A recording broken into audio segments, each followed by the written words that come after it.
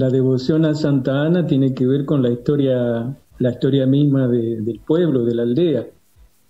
Eh, históricamente, Santa Ana ha sido patrona del templo parroquial desde que los sacerdotes del Verbo Divino decidieron encomendarle el patrocinio justamente de esta iglesia que eh, sirvió para reunir a la comunidad eh, de inmigrantes alrededor de, ese Dios eh, que nunca dejaban de tener presente, ni aún cuando todavía no tenían templo, de manera que tener un templo era o fue la, la primera de sus aspiraciones, además de ocupar la tierra, trabajarla, pero siempre bajo la mano de Dios, bajo la providencia divina, y para eso trabajaron para poder tener entre los primeros logros importantes, eh, un templo que como en ese momento los padres del Verbo Divino atendían,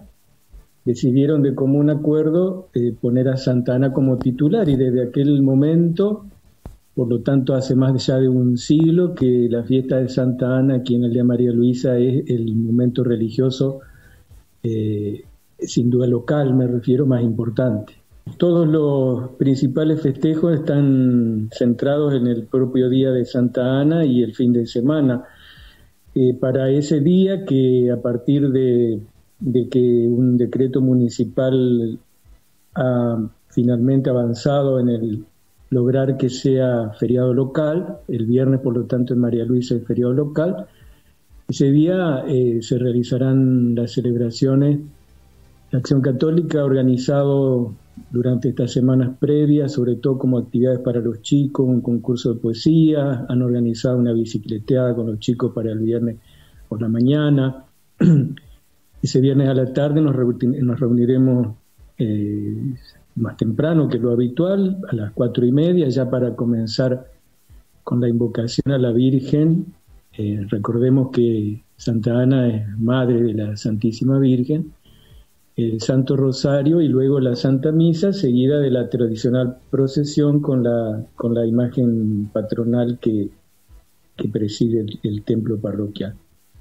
Y terminada la procesión, la idea es reunirnos como hacemos todos los años, ya es una tradición, en el salón parroquial para compartir un momento comunitario, un momento familiar de chocolate con torta, con la torta patronal, en un momento que eh, hacen sorteos, en fin, se busca de alguna manera pasar un lindo momento fraterno, terminada, terminado, digamos, los actos religiosos.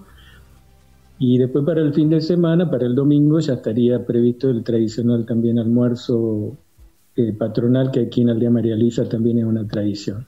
Claro, claro. ¿Y las tarjetas para ese almuerzo, padre, están a la venta? ¿Cómo se viene organizando esa cuestión? ¿El precio? Digo, por si queda alguna y alguien quiere ir a participar también. Eh, sí, las tarjetas están en la página de la parroquia, están allí eh, los contactos en los cuales eh, pueden, los que estén interesados de participar, conseguir las tarjetas y se dan allí los detalles de en qué va a consistir el, el, almuerzo, cuál va a ser el menú, cuál es el precio de la tarjeta, cuál es el grupo que va a animar, etcétera. De manera que todo está allí disponible. Si quieren pueden entrar en la página y van a encontrar allí toda, toda esta información.